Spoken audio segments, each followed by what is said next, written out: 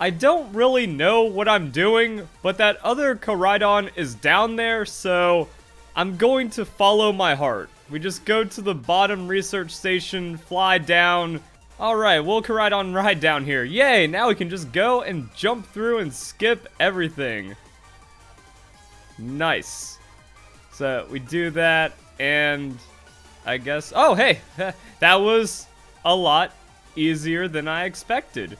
So we have we have quite ooh large candy. I actually really really could use that. So I have a plan. It's called YOLO. We gonna throw a quick ball, and if that doesn't work, we throw in our master ball because I don't think I'm going to find another use for it. Even though it might help with some of the like four soft legendary Pokemon, whatever those are considered. Okay, Orichalcum Pulse is strong. That's right. Like, yo, imagine if you aren't using a Master Ball in this fight. Could actually get sketchy. Uh, throw the Quick Ball. Man, I could really upset some people and just waste a Beast Ball right here. That was closer than it had any right to be. I'm like I'm wondering like what we do. Like, how much do we just cheese this one out? Uh, yo, repeat ball technically works on the legendary. That's kind of funny. I wonder if it also has, like, the modern higher catch rates that you find on some legendary Pokemon, because that amount of shakes, kind of silly. Unfortunately, I underestimated how trivial this would be and I'm wondering maybe they changed the shake algorithm because now if you've like already caught a Pokemon, it just shakes once and then catches or something. And now it seems like it's getting harder to catch Pokemon. And just like any legendary thing, you can eventually stall it out, throw a timer ball, and that makes it even easier. So I guess we're just kind of in a full-on, legit, like, legendary catch instead of just blowing a Master Ball. Oh snap, I was wondering, I was like, wait a second, has the catch rate actually been posted? Catch rate of 3. So we don't have like the modern easy catch, which makes things even weirder. And that's just a part of the stats that we have for the data mine that's been out there. So it, it just be like that. Okay, I threw out another play rough, and that is as close as we are cutting it. So now some more repeat balls, and then some timer balls, and... Oh, there it is. Okay the I wow. Okay, there was no threat.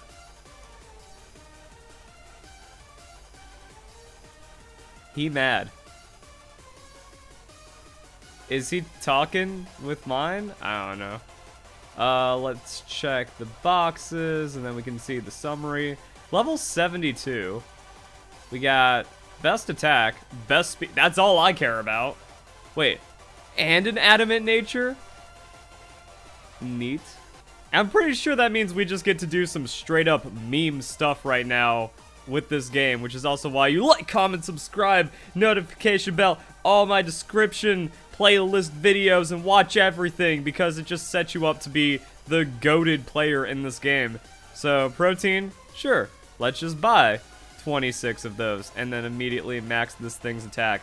Also, going back to the data mine, this thing's stats are busted. As a competitive player, I ignore legendary Pokemon, which is also why it didn't even occur to me until this point to catch the legendary and then train it for raids. I, I know you can use legendaries in raids, but I, I'm just so anti-legendary that that's a thing. 135 attack, 135 speed. Broken. Oh, there goes all of our money and LP. Well, we hopefully we, we get that money back in the investment of this legendary Pokemon. So we got that. We don't need to mint.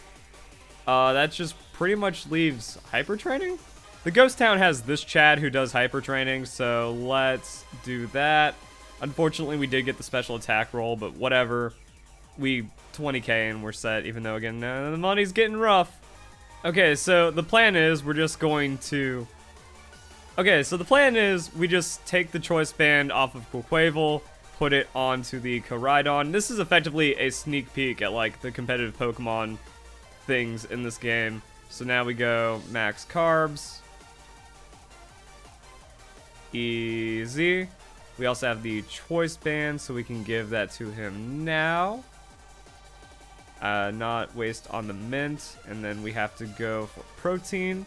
And conveniently, we have a lot of PP ups just from the game, but also pickup, which means collision course can be maxed out.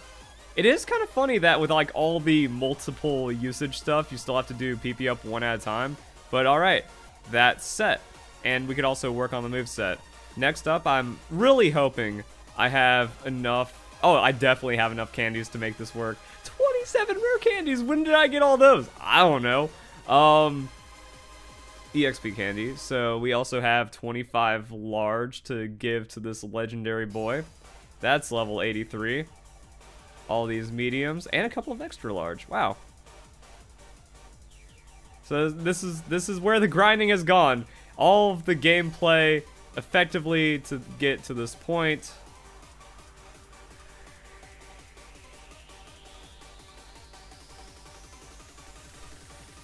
And now we just like Giga Boost and Snowball and have nothing to worry about whatsoever. And this is only on the third day. We also have a lot of money potential. Like we just sell all that. We'll be back in it, boys.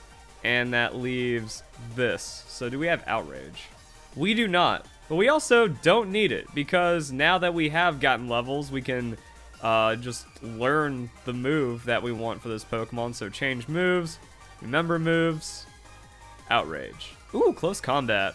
I'm also thinking maybe we play for the tech. We have Breaking Swipe in case it's like a really heavy physical crazy attacker raid, and then even though they can cleanse the ne negative effects, you just keep Breaking Swipe them. And I'm actually thinking Drain Punch, because Choice Banded Drain Punch is still going to slap, and it's also going to heal us for a significant amount. So like, we just we just made the ultimate raid boss boss. Cool. Alright, let's go and try this one out. So there's a rock raid over here, and I really hope it's super. So I guess it's also about building the ultimate Mega Chad team of like, yeah, I'm just covered for every super effective raid. I know I one-shot this. That's not interesting.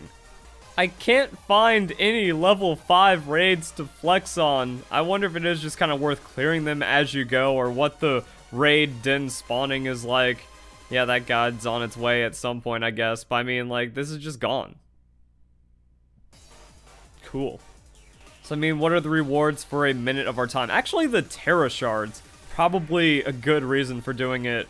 But 16,000 experience, 19, 20, 2,000 experience. Ah, Alright, and then a small, small amount of money.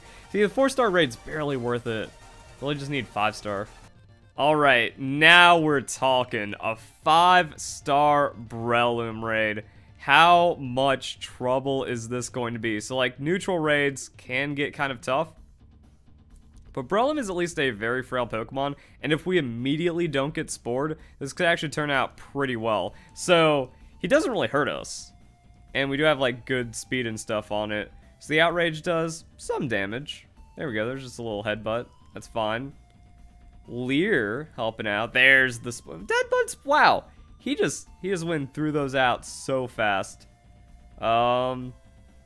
All right, we're still on our outrage. Cool. That that just hurting a lot more because of the Leer. Let's go. We did get the early two-turn confusion.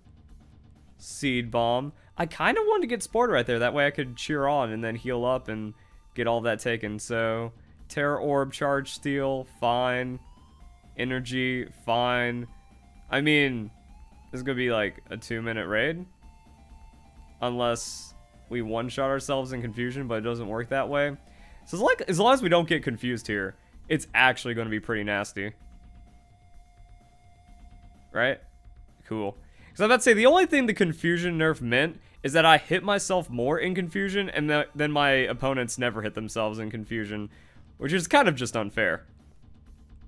So, yeah, Breloom not too threatening on the typing into a Koraidon, which is pretty nice.